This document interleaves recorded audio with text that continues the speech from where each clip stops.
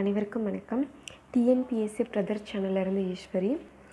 நம்ம இன்றைக்கி பார்க்க போகிற டாபிக் பார்த்திங்கன்னா நைன்த்து ஸ்டாண்டர்ட் சயின்ஸ் புக் பார்க்க போகிறோம் அதாவது ஃபிசிக்ஸு அளவீடுன்ற டாபிக் பார்க்க போகிறோம் நான் வந்து பார்த்திங்கன்னா முக்கியமான பாயிண்ட்ஸ் மட்டும் ஹைலைட் பண்ணியிருக்கேன்.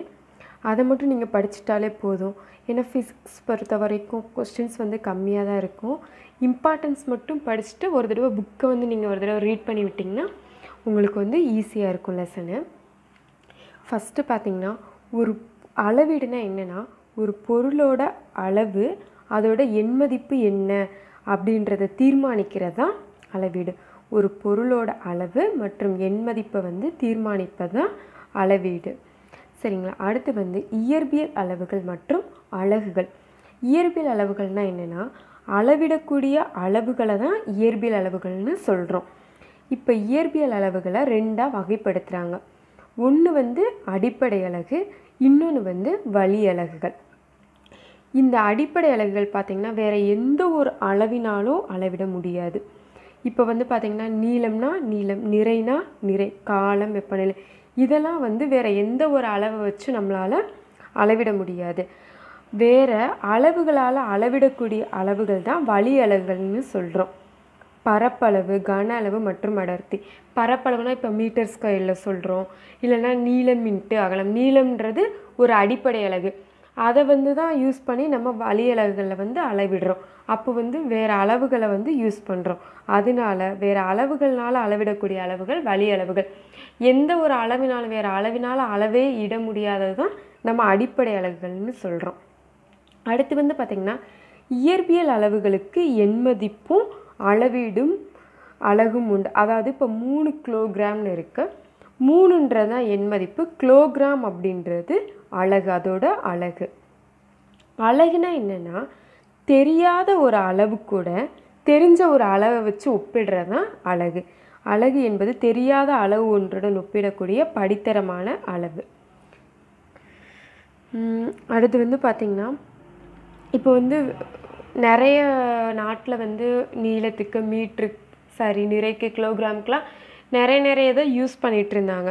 இப்போ நீளம் பார்த்திங்கன்னா சென்டிமீட்ரு அடி மீட்ரு நிறைக்கு வந்து பார்த்திங்கன்னா கிராம் பவுண்ட் கிலோகிராம் இந்த மாதிரி ஒவ்வொரு நாடுகளும் அவங்களுக்கு தெரிஞ்சதை வச்சு யூஸ் பண்ணிகிட்டு இருந்தாங்க. யூஸ் பண்ணுறப்போ வந்து ஸ்டாண்டர்டாக ஒரு அளவு இல்லை. எல்லாமே வந்து கன்ஃபியூஸ் ஆச்சு. அதனால் என்ன பண்ணாங்கன்னா ஆயிரத்தி தொள்ளாயிரத்தி அறுபதில் பாரிஸ் நகரில் எடைகள் மற்றும் அளவுகளுக்கான ஒரு பொது மாநாடு நடந்துச்சு. அப்போ தான் வந்து இந்த எஸ்ஐ அழகு முறையை வந்து அதாவது பன்னாட்டு அழகு முறையை வந்து உலக நாடுகள் பயன்பாட்டுக்கு வந்து உருவாக்கணும் அப்படின்னு சொல்லிட்டு பரிந்துரைச்சாங்க. இங்கே வந்து பார்த்திங்கன்னா மேலே சிஜிஎஸ்னா சென்டிமீட்ரு ஜீனா கிராமு எஸ்னா செகண்ட்ஸு அதே மாதிரி எஃபிஎஸ்னா எஃப்னா ஃபீட்டுன்னு சொல்லுவோம்.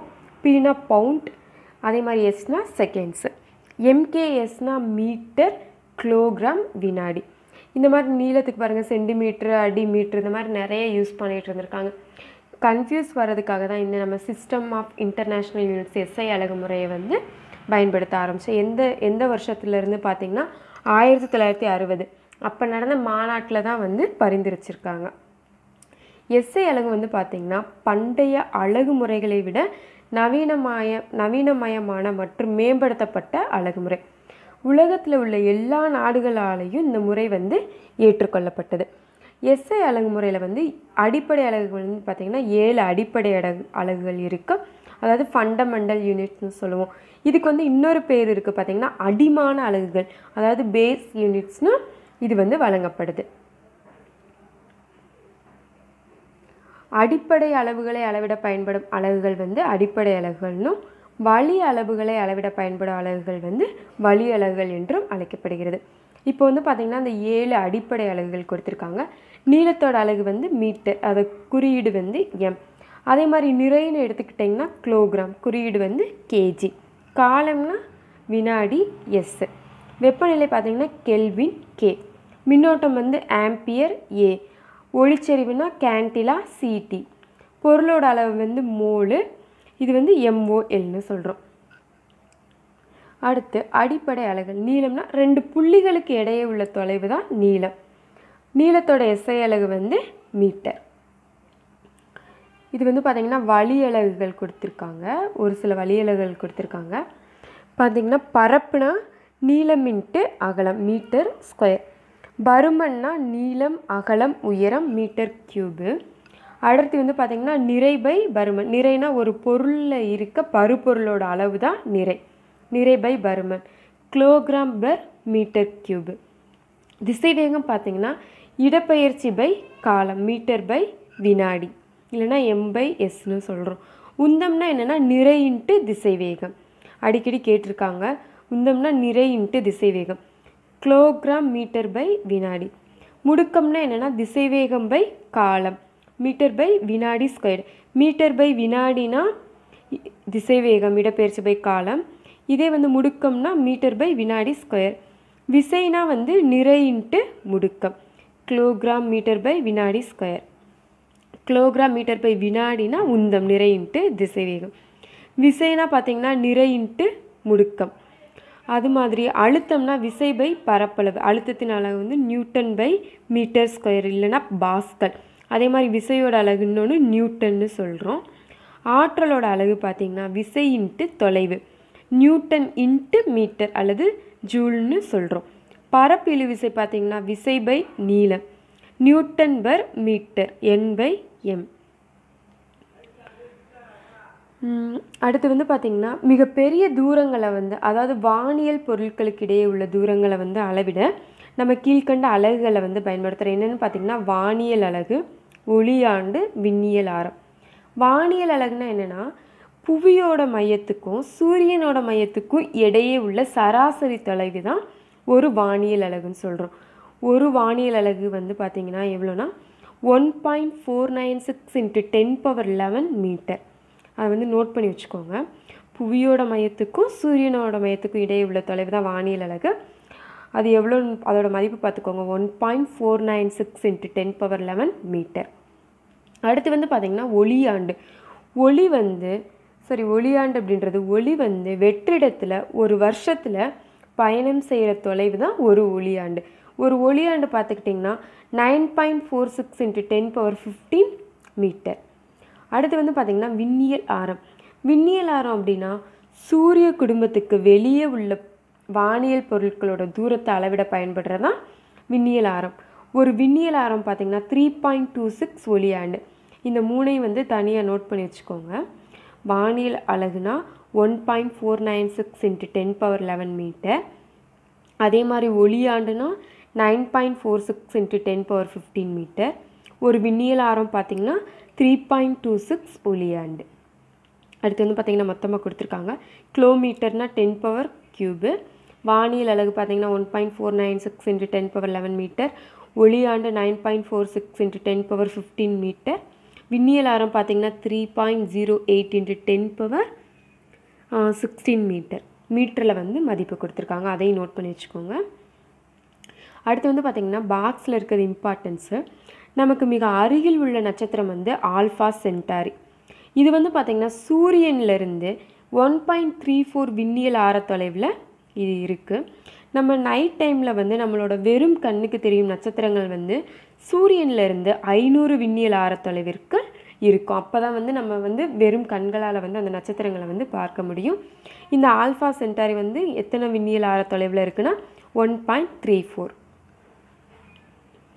அடுத்து வந்து பார்த்திங்கன்னா ஒரு மூலக்கூறில் இருக்க ரெண்டு அணுக்களுக்கு இடையான தொலைவு உட்கருவோட அளவு ஒளியோட அலைநீளம் போன்றவற்றை அள அளவிட வந்து நம்ம பத்தோட துணை பன்மடங்குகளை வந்து பயன்படுத்துகிறோம் அதாவது டென் பவரில் எழுதும் போல் அந்த மாதிரி. இதை வந்து ஆம்ஸ்ட்ராங் அப்படின்ற அழகால் வந்து குறிப்பிடுறோம். இப்போ வந்து பார்த்திங்கன்னா சின்ன சின்ன அலகுகள் கொடுத்துருக்காங்க. அதோட மதிப்பு பார்த்திங்கன்னா மீட்டர்லலாம் கொடுத்துருக்காங்க. நோட் பண்ணிக்கோங்க. ஃபெர்மி அப்படின்னா அதோட குறியீடு பார்த்திங்கன்னா F ten power minus fifteen metre அதே மாதிரி ஆம்ஸ்ட்ராங்னு பார்த்திங்கன்னா A power நாட்னு ten power minus ten metre nano metre பார்த்திங்கன்னா NM ten power minus nine metre அதே மாதிரி மைக்ரான் பார்த்திங்கன்னா micrometre mu M ten power minus six metre millimetre பார்த்திங்கன்னா MM ten power minus cube metre centimetre வந்து CM ten power minus two metre அடுத்து வந்து பார்த்திங்கன்னா SI அலகு அல்லாத பிற அலகு வந்து எஸ்ஐ அழகு கூட பயன்படுத்துவது இல்லை. நிறை. நிறை அப்படின்னா ஒரு பொருளில் இருக்க அந்த பருப்பொருளோட அளவு தான் நிறை. நிறையோட எஸ்ஐ அலகு பார்த்தீங்கன்னா கிலோகிராம். அடுத்து வந்து ஒரு கிராம்னா கிலோகிராமில் கன்வெர்ட் பண்ணி கொடுத்துருக்காங்க.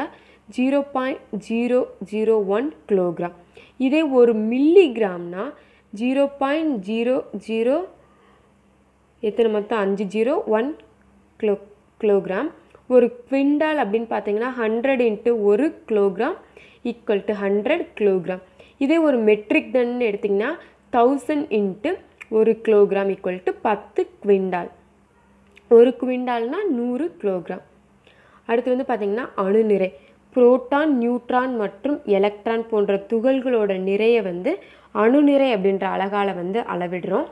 அணுநிறை பார்த்திங்கன்னா ஒரு ஏஎம்யு கார்பன் பன்னெண்டு அணுவின் நிறையில் பன்னெண்டில் ஒரு மடங்கு தான் ஒரு அணுநிறை அழகு அடுத்து வந்து பார்த்திங்கன்னா ஒரு மில்லி லிட்டர் நீரோட நிறை வந்து பார்த்திங்கன்னா ஒரு கிராம் ஒரு லிட்டர் நீரோட நிறை வந்து பார்த்திங்கன்னா ஒரு கிலோகிராம் நிறைனா என்னென்னா அந்த பொருளில் இருக்க பருப்பொருளோட அளவு தான் நிறை.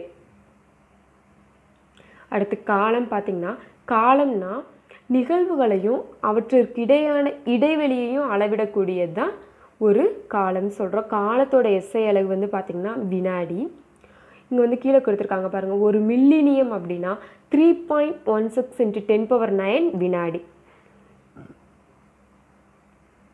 அடுத்து வெப்பநிலை. வெப்பநிலை அப்படின்னா ஒரு பொருள் வந்து வெப்பமாக இருக்கா இல்லை குளிர்ச்சியாக இருக்கா அப்படின்ற அப்படின்றத குறிக்கிறதா வந்து வெப்பநிலை.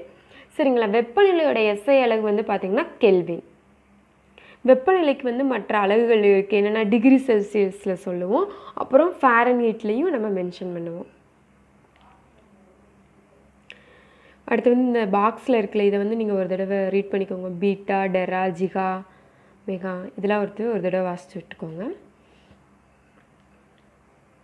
அடுத்து வந்து நம்ம வெர்னியர் அளவை வந்து பார்க்க போகிறோம் வெர்னியர் அளவுனா என்னென்னா இது ஃபுல்லாக ரீட் பண்ண வேணால் முக்கியமான பாயிண்ட்ஸ் மட்டும் நான் நோட் பண்ணி வச்சுருக்கேன். அதை மட்டும் படிச்சுக்கோங்க. இப்போ வந்து ஒரு பொருளோட அதாவது ஒரு மீட்டரோட சாரி ஒரு மீட்டர் அளவியோட மீச்சிற்றளவு தான் ஒரு மில்லி மீட்ரு இதனை பயன்படுத்தி தான் நம்ம பொருட்களோட நீளத்தை அதாவது மில்லி மீட்டர் அளவுக்கு வந்து துல்லியமாக வந்து நம்ம கணக்கிடுறோம். வெர்னியர் அளவை வச்சு பார்த்திங்கன்னா ஜீரோ பாயிண்ட் ஒரு மில்லி மீட்டர் வந்து கணக்கிடலாம். இதே திருகு அளவையை வச்சு ஜீரோ பாயிண்ட் ஜீரோ ஒன் மில்லிமீட்டரையும் நம்ம வந்து துல்லியமாக கணக்கிட முடியும். வெர்னியர் அளவு அந்த அமைப்பில் வந்து சென்டிமீட்டர் அப்புறம் மில்லிமீட்டரில் வந்து அளவுகள் வந்து குறிக்கப்பட்டிருக்கும். ஒரு உலோகப்பட்டையில் தான் வந்து இருக்கும். இந்த இருக்குது பாருங்கள் வெர்னியர் அளவியோட படம். முதன்மை கோல் வெர்னியர் கோல் இருக்கும். நம்ம ஆப்ஜெக்ட் வந்து கீழ்த்தாடையில் தான் வச்சுருப்போம். அதை டைட் பண்ணுறப்ப தான் நம்ம அட்ஜஸ்ட் பண்ணுறப்ப தான் வந்து நம்மளுக்கு வந்து அளவு கிடைக்கும். இப்போ மீச்சிற்றளவு வந்து எப்படின்னா ஜீரோ பாயிண்ட் ஜீரோ ஒன்று தான் நம்ம வெர்னியர் அளவு வச்சு கண்டுபிடிக்கிறோம். முதன்மை கோளோட ஒரு மிகச்சிறிய பிரிவோட மதிப்பு. டிவைடட் பை வெர்னியர் கோல் பிரிவுகளோட மொத்த எண்ணிக்கை. எப்பவுமே வந்து பத்து தான் இருக்கும். வெர்னியர் கோல் வந்து பத்து தான். இது வந்து பார்த்திங்கன்னா ஒரு மில்லிமீட்டர் டிவைடட் பை பத்துனா ஜீரோ பாயிண்ட் ஒன் மில்லிமீட்ரு இதே நம்ம சென்டிமீட்டரில் கன்வெர்ட் பண்ணுறப்போ zero point zero one centimetre சுழிப்பிலைனா என்னென்னா இப்போ நம்ம வந்து திருகினை வந்து நெகிழ்த்தி நழுவியை வந்து நம்ம நகர்த்துறோம். அப்போ வந்து வெர்னியர் அளவோட தாடைகள் வந்து ஒன்றுக்கொன்று பொருந்துமாறு வந்து வச்சிடுறோம். வெர்னியர் அளவுகளோட சுழிப்பிரிவு வந்து முதன்மை அளவுக்கோட சுழிப்பிரிவுடன் பொருந்தி இருக்கா அப்படின்னு பார்ப்போம் ரெண்டு வந்து ஒன்றா இருந்துச்சுன்னா அதில் வந்து பிழை வந்து எதுவுமே கிடையாது. சுழிப் அதாவது முதன்மை கோளும் வெர்னியர் கோளும் ஒன்றா இருந்துச்சு ஜீரோ மாதிரி வரும். ரெண்டுமே ஜீரோ ஜீரோவில் இருந்துச்சுன்னா பிழை வந்து எதுவுமே இல்லை. இப்போ சப்போஸ் வெர்னியர் அளவுக்கோளோட சுழிப்பிரிவு வந்து முதன்மை கோளுக்கு வந்து வலப்பக்கம் ஜீரோ வந்து கீழே பார்க்குறீங்களா? சரிங்களா? கீழே இருக்கிறது வெர்னியர் மேலே இருக்கிறது முதன்மை. இந்த வெர்னியர் வந்து வலப்பக்கமாக வந்துருச்சு அப்படின்னா அது வந்து நேர்பிழை. இப்போ நேர்பிழை வந்து பார்த்திங்கன்னா கரெக்டாக வந்து எங்கே பொருந்தி இருக்குன்னு பார்த்தீங்கன்னா பா- அஞ்சில் தான் ஜாயிண்ட் ஆகிருக்கும் ரெண்டுமே வந்து அஞ்சில் தான் வந்து ஜாயிண்ட் ஆகிருக்கு சரிங்களா? இது வந்து வலப்பக்கமாக வந்துருந்துச்சு அப்படின்னா ஜீரோ வந்து பாருங்கள் ஜீரோ வந்து வலப்பக்கம் வந்துருச்சுன்னா அது நேர்பிழை. இது வந்து எதிர்பிழைனா பார்த்தீங்கன்னா இடப்பக்கம் வந்திருக்கும். மேலே இருக்க அந்த ஜீரோ வந்து என்ன செஞ்சுருக்கு? சரி கீழே இருக்க அந்த ஜீரோ வந்து இடப்பக்கம் வந்திருக்கும். அப்படி வந்திருந்துச்சுன்னா அது வந்து எதிர்ப்பிலை. எதிர்ப்பிலை நீங்கள் கண்டுபிடிக்கிறப்போ இங்கே வந்து minus four into L into சின்னு எடுத்திருக்காங்களே இங்கே வந்து டென்லேருந்து கால்குலேட் பண்ணியிருக்கணும் நீங்கள் வந்து ரெண்டு ஜாயின் ஆகுறது வந்து அஞ்சுக்கு அடுத்து ஆறு அப்படின்னு எடுத்துக்கூடாது டென்னுக்கு அப்புறம் பார்த்தீங்கன்னா நம்ம வந்து நெ நெகட்டிவ் மார்க் வந்து பண்ணிட்டு வருவோம்ல. மைனஸ் ஒன்று மைனஸ் ரெண்டு மைனஸ் மூணு இது வந்து மைனஸ் நாலு. அதனால தான் இங்கே வந்து minus four into L into சின்னு எடுத்திருக்காங்க. சரிங்களா? அஞ்சுக்கு அடுத்து ஆறு அப்படி எடுத்துடக்கூடாது இங்கே லாஸ்ட்டாக இருக்க இந்த டென்லேருந்து நெகட்டிவ் வந்து கவுண்ட் பண்ணிட்டு வரணும். அப்போ தான் வந்து கரெக்டாக வரும். அடுத்து வந்து பார்த்திங்கன்னா நேர்ப்பிலை கண்டுபிடிக்கிறது. இது வந்து அஞ்சில் ஜாயிண்ட் ஆயிருக்கு. அதனால தான் five into L into sin கொடுத்துருக்காங்க. சரிங்களா? இப்போ வந்து கீழே வந்து இந்த சம் மாதிரி கொடுத்துருக்காங்க. முதன்மை அளவுகோல் வந்து இது வந்து எண்பத்தொம்போது கிடையாது. எயிட் சென்டிமீட்டர் தான். வெர்னியர் ஒன்றிப்பு வந்து நாலு. மற்றும் நேர்பிழை வந்து கொடுத்துருக்காங்க ஜீரோ பாயிண்ட் ஜீரோ ஃபைவ் அப்போ சரியான அளவை கண்டுபிடிக்கிறதுக்கு என்ன பண்ணுவோம்னா மொத்தம் வந்து என்னென்னா முதன்மை கோல் வந்து எயிட் எடுத்துக்குவோம் ப்ளஸ் வெர்னியர் ஒன்றிப்பு எவ்வளோனா ஃபோர் சரிங்களா? Four into zero point zero ஒன்று இது வந்து நார்மலாக அந்த வெர்னியர் நம்ம மீச்சிற்றளவு எடுப்போம் அதுதான் அந்த ஜீரோ பாயிண்ட் ஜீரோ ஒன்று மைனஸ் பிழை வந்து எவ்வளோ? ஜீரோ பாயிண்ட் ஜீரோ ஃபைவ் அதான். அப்போ எயிட் போட்டுருவோம் plus zero point zero four minus zero point zero five. நம்ம மைனஸ் பண்ணுறப்போ ஜீரோ பாயிண்ட் ஜீரோ ஒன் வரும் அப்போ செவன் பாயிண்ட் நைன் நைன். அது அந்த சம் சம்மை வந்து செஞ்சு பார்த்துக்கோங்க. மேபி எக்ஸாமில் கேட்டுருவாங்க. இதே எதிர்ப்பிலை ஒரு சம் கொடுத்துருக்காங்க பாருங்கள் வெர்னியர் வந்து எட்டு மில்லிமீட்டர் கொடுத்துருக்காங்க. ஒன்றிப்பு வந்து பார்த்திங்கன்னா நாலு தான். எதிர்ச்சுழிப்பில் பார்த்திங்கன்னா மைனஸ் ஜீரோ பாயிண்ட் டூ கொடுத்துருக்காங்க. ஏற்கனவே ஃபார்முலாலே வந்து மைனஸ் வரும். இங்கே அகெயின் வந்து நெகட்டிவ் இருக்கிறதுனால மைனஸ் ஜீரோ பாயிண்ட் டூன்னு எடுத்திருக்கோம். இதை வந்து eight plus zero point four minus zero point டூன்னு எடுத்திருக்கோம். இதை வந்து நம்ம வந்து நீங்கள் வந்து சிம்பிளிஃபை பண்ணிங்கன்னா உங்களுக்கு எயிட் பாயிண்ட் சிக்ஸ் மில்லிமீட்டர்னு வரும். அடுத்து வந்து பார்த்திங்கன்னா இப்போ வந்து அதாவது டிஜிட்டல் வெர்னியர் அளவு வந்து யூஸ் பண்ணுறோம் இந்த காலத்தில் வந்து நம்ம வந்து ஃபஸ்ட்டு வந்து இந்த மாதிரி இருந்துச்சு. இப்போ வந்து டிஜிட்டலாக வந்து யூஸ் பண்ணிகிட்ருக்கோம்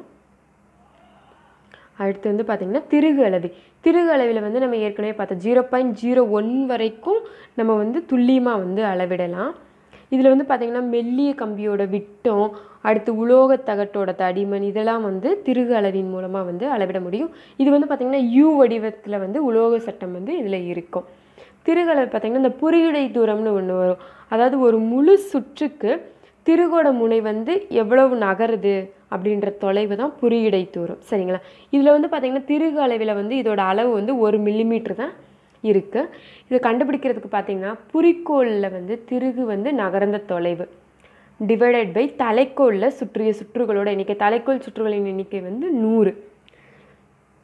மேலே வந்து புரிகிடை தூரம் ஏற்கனவே கொடுத்துருக்காங்க ஒரு மில்லிமீட்ரு சரிங்களா? மீச்சிற்றளவு கண்டுபிடிக்கிறதுக்கு. ஒரு millimetre divide by hundred equal to zero point zero one millimetre அதுதான் வந்து திருகு அளவியோட துல்லியத்தன்மை.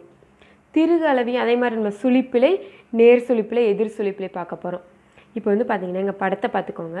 நகரும் முனை இருக்குது அதோட சமதள பரப்பு. நிலையான முனை இதோட சமதள பரப்பு இருக்குது இது ரெண்டுமே வந்து ஜாயின் பண்ணுறோம் ஜாயின் பண்ணுறப்போ தலைக்கோளோட இங்கே இருக்கல தலைக்கோள் பாருங்கள் தலைக்கோளோட சுழிப்பிரிவும் குறிக்கோளோட வரைக்கோட்டுடன் இணைந்தால் சுழிப்பிரிவுனா என்னது? ஜீரோ இது வந்து ஜீரோ வந்து கரெக்டாக இங்கே கொடுத்துருக்காங்க பாருங்கள் கரெக்டாக போயிட்டு அந்த ஜீரோ வந்து அந்த குறிக்கோளில் வந்து ஜாயிண்ட் ஆயிடுச்சு அப்படின்னா அதில் வந்து பிழை வந்து எதுவுமே கிடையாது. சரிங்களா? தலைக்கோளோட அந்த சுழி ஜீரோன்றது டயக்ராமில் அப்படி தான் இருக்குது குறிக்கோளோட அளவில் வந்து ஜாயின் பண்ணியிருக்கு அப்படி அந்த மாதிரி இருந்துச்சுன்னா நம்மளுக்கு திருகு அளவில் பிழை வந்து எதுவுமே கிடையாது. சரிங்களா? இதே வந்து நேர் சுழிப்பிழை அப்படின்னா தலைக்கோளோட அந்த தலைக்கோளோட பிரிவு வந்து வரைக்கோட்டிற்கு கீழே வந்து நம்ம இணைஞ்சிருச்சு.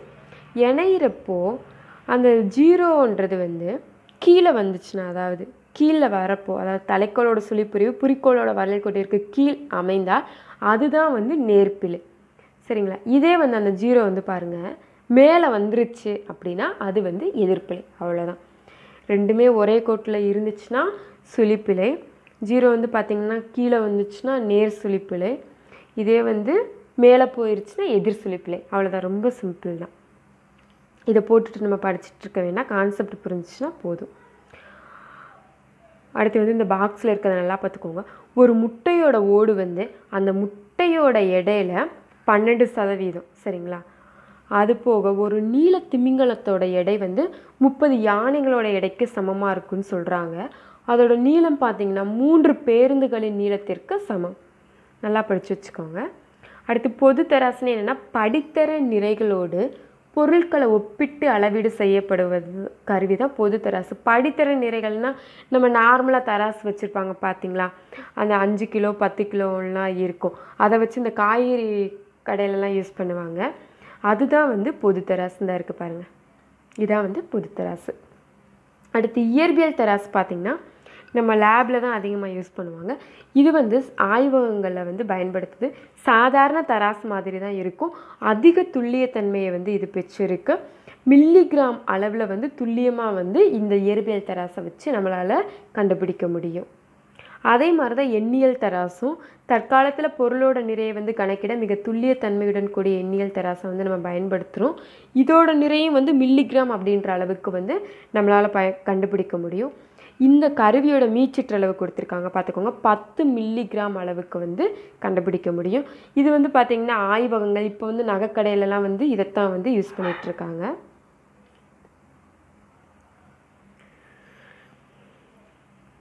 அடுத்து வந்து பார்த்திங்கன்னா சுருள்வில் தராசு. இது வந்து பொருளோட எடையை கண்டுபிடிக்க பயன்படுது. இந்த இதுக்கு முன்னாடி பார்த்தது நிறை பார்த்தோம். இது மட்டும்தான் எடைன்னு கொடுத்துருப்பாங்க. இந்த கருவி பார்த்திங்கன்னா உலோக உள்ளீடற்ற சட்டத்தில் எஃகு சுருள் வில்லை பொருத்தி அமைக்கப்பட்ட அமைப்பு. அடுத்து நிறை எடை வேறுபாடு. நிறைனா என்னென்னா ஒரு பொருளில் இருக்க அந்த பருப்பொருளோட அளவு தான் நிறை. எடை அப்படின்னா என்னென்னா ஒரு பொருளின் மீது செயல்படும் புவியீர்ப்பு விசையை வந்து சமன் செய்வதற்காக அந்த பொருளோட பரப்பினால் செலுத்தப்படும் எதிர்விசை தான் எடை. ஒரு பொருளோட புவியீர்ப்பு முடுக்கத்தை சமன் செய்கிறதுக்கு அந்த பொருளோட பரப்பில் இருந்து கொடுக்கப்படுற எதிர்விசை தான் எடை. இப்போ வந்து பார்த்திங்கன்னா பூமியில் ஒரு மனிதனோட நிறை வந்து ஐம்பது கிலோகிராம்னு கொடுத்துருக்காங்க. அப்படின்னா அவரோட எடை என்ன அப்படின்னு கேட்டிருக்காங்க கேட்டிருக்காங்க சாரி இப்போ வந்து எடையை கண்டுபிடிக்கிறதுக்கு என்னென்னா நம்ம புவியீர்ப்பு முடுக்கம் புவியோட புவியீர்ப்பு முடுக்கம் வந்து நைன் பாயிண்ட் எயிட்டு ஜஸ்ட் அதால் மல்டிபிள் பண்ணிங்கனாலே நம்மளுக்கு வந்து எடை வந்து அதாவது நியூட்டனில் வந்து எவ்வளோ எடை எடையோட அழகு நியூட்டன் தான். சரிங்களா? எவ்வளோ எடை வந்து இருக்குன்னு கண்டுபிடிச்சிடலாம் சரிங்களா? இதே வந்து நிலவில் கேட்டிருந்தாங்கன்னா நிலவோட புவியீர்ப்பு முடுக்கத்தை வந்து மெ மல்டிபிள் பண்ணால் நம்மளுக்கு வந்து நிலவில் வந்து நம்மளோட எடை எவ்வளோ இருக்குன்னு கண்டுபிடிச்சிடலாம் இப்போ வந்து நிலவலோட ஈர்ப்பு விசை வந்து புவியோட விசையில் ஆறில் ஒரு பங்கு தான். சரிங்களா? அப்படி இருக்கிறப்போ நிலவில் வந்து ஒரு பொருளோட எடை வந்து புவியில் உள்ள எடையை விட வந்து கம்மியாக தான் இருக்கும். ஏன்னா நம்மளோட எடை வந்து சேம் தான். நம்ம நியூட்டனில் கால்குலேட் பண்ணுறப்ப வந்து கம்மியாகும்னு சொல்கிறாங்க நிலவில் புவியீர்ப்பு முடுக்கம் பார்த்தீங்கன்னா one point six three metre by வினாடி ஸ்கொயர்டு இப்போ வந்து சாம்பிளுக்கு வந்து கொடுத்துருக்காங்க. இப்போ எழுபது கிலோகிராம் நிறையுள்ள மனுஷ் மனிதனோட எடை வந்து புவியில் வந்து பார்த்திங்கன்னா இப்போ நம்ம இங்கே ஐம்பதுக்கு பெருக்கணும்ல. ஐம்பது இன்ட்டு நைன் பாயிண்ட் எயிட்னா ஃபோர் நைன்ட்டி நியூட்டன் வருது. அதே மாதிரி எழுபதுக்கு பெருக்குனேன்னா சிக்ஸ் எயிட் சிக்ஸ் நியூட்டன் வந்து வரும். நிலவில் பார்த்தீங்கன்னா எவ்வளோ கொடுத்துருக்காங்கன்னா ஒன் பாயிண்ட் சிக்ஸ் த்ரீ. அப்போ seventy into one point six three போட்டிங்கன்னா ஒன் ஒன் ஃபோரு. அதே மாதிரி seventy into nine point eight போட்டிங்கன்னா சிக்ஸ் எயிட் சிக்ஸ். அதே நிறை வந்து காமன் தான். அந்த நியூட்டன் மட்டும் மாறும். அவ்வளோதான் சரிங்களா? அடுத்து வந்து பார்த்தீங்கன்னா நிறைக்கும் எடைக்கும் என்ன டிஃப்ரெண்ட்னு கொடுத்துருக்காங்க. நிறை வந்து ஒரு அடிப்படை அளவு ஆனால் எடை வந்து வழி அழகு. இதுக்கு வந்து பார்த்திங்கன்னா எண்மதிப்பு மட்டும் உண்டு. இது வந்து ஒரு ஸ்கேலார் அளவு. இது வந்து பார்த்திங்கன்னா எண்மதிப்பும் இருக்குது திசை பண்பு இருக்கும் அதனால் இது வந்து ஒரு வெக்டார் அளவு. பொருள் உள்ள பருப்பொருளோட அளவு. இது வந்து பொருட்களின் மீது செயல்படும் புவியீர்ப்பு விசையோட அளவு. இது வந்து இடத்திற்கு இடம் வந்து மாறாது. இது இடத்திற்கு இடம் வந்து மாறுபடும். இயற்பியல் தராசினால் அளவீடு செய்யப்படுகிறது. இது வந்து பார்த்திங்கன்னா சுருள்வில் தலா தராசு நம்ம ஏற்கனவே பார்த்த எடையை வந்து ஒரு பொருளோட எடையை வந்து அளவிட பயன்படுகிறது. இதனோட அழகு வந்து பார்த்திங்கன்னா கிலோகிராம் இதோட அழகு வந்து நியூட்டன் அவ்வளோதான் லெசன் கம்ப்ளீட் பண்ணிட்டோம். அடுத்து நெக்ஸ்ட் வந்து கண்டினியூவாக லெசன் வந்துட்டுருக்கோம். எல்லோரும் பாருங்கள் அடுத்த ஒரு வீடியோவில் பார்க்கலாம். நன்றி.